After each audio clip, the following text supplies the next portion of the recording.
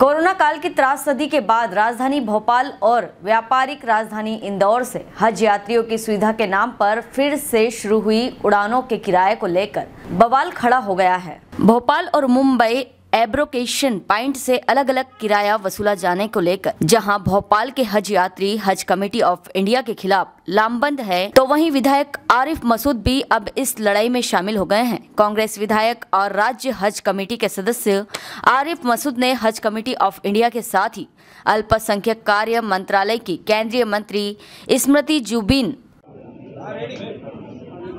एक बहुत अफसोसनाक पहलू मध्य प्रदेश के अंदर आया और देश के अंदर आया, जिसकी मैं निंदा करता हूँ।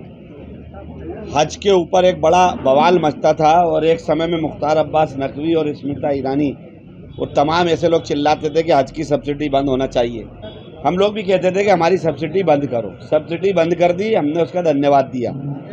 लेकिन अफसोस कि उसके बाद लूट मचा दी और ग्लोबल टेंडर नहीं करे, जिसका सीधा नुकसान मध्य प्रदेश की जनता को हुआ। ग्लोबल टेंडर क्यों नहीं करे? दो रुपये पेट्रोल बढ़ने पर नाचने वाली, चीखने वाली स्मृति ईरानी, एक हाजी का सत्तर हज़ार रुपये भोपाल और बॉम्बे का डिफरेंस ले रही हैं, शर्म नहीं आई। मैंने ये तमाम बातें जब ग्लोबल टेंडर नहीं हुआ था, तब भी ऑब्जेक्ट किया था। और जो भोपाल से हाजी जाएगा, जो दो साल पहले तक भोपाल एम्बिकेशन पॉइंट था, वो बीच में दो साल कोरोना की वजह से नहीं रहा। जब दो साल पहले भोपाल से हाजी जाता था तो पंद्रह हज़ार का डिफरेंस था। और दो साल के बाद अठहत्तर हज़ार का, अड़सठ हज़ार का डिफरेंस भोपाल और तिरपन से पचपन हज़ार इंदौर, जिसका मैंने कल से लगातार स्मृति ईरानी से संपर्क करना चाहा। उनका कोई रिस्पांस नहीं मिला। सेंट्रल हज कमेटी के अध्यक्ष मिस्टर कुट्टी को कई बार फ़ोन लगाए। वो बात करने को तैयार नहीं है। उनके उनके बिरदर कोई नासिर हैं। उन्होंने एक बार मुझसे बात करी। स्टेट हज कमेटी को भी मैंने कहा है कि आपका काम बनता है कि ये जो हाजियों के साथ हो रहा है, इसको रोका जाए। अफसोस की बात है कि सुविधा के नाम पे इमिग्रेशन पॉइंट सुविधा के लिए बनाया था या लूट के लिए ये समझ में नहीं आता। ऐसी परिस्थितियों में मैंने एक पत्र आज मिस्टर कुट्टी को लिखा है कि तत्काल मध्य प्रदेश के हाजियों से पैसा कम किया जाए और पंद्रह बीस हज़ार रुपये से ज़्यादा उनसे ना लिया जाए।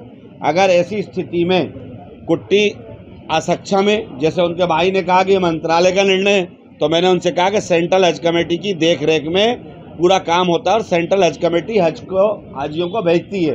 तो फिर आपका दायित्व क्या है? तो मैंने कहा, मेरा दायित्व तो इतना था, मैंने आपको अवगत करा दिया, मेरी सरकार मध्य प्रदेश और केंद्र में नहीं है।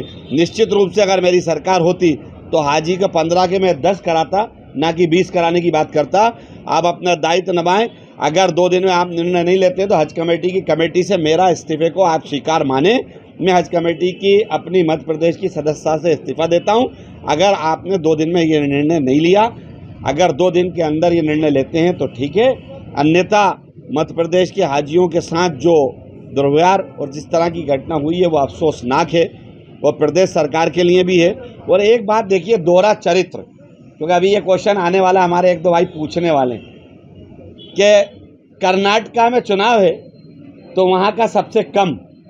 और क्योंकि नीतीश कुमार बिहार से उनके खिलाफ ये मोर्चा बना रहा है तो सबसे ज़्यादा गया का रेट। भोपाल से भी ज़्यादा डिफरेंस गया का है।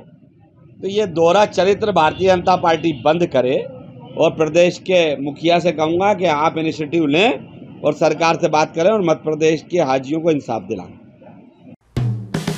हेलो आप देख रहे हैं हमारा channel S W twenty four news हमारे सारे वीडियो सबसे पहले देखने के लिए आप हमारे चैनल को सब्सक्राइब करें और पास में लगे बेल आइकोन को दबाना बिल्कुल भी ना भूलें।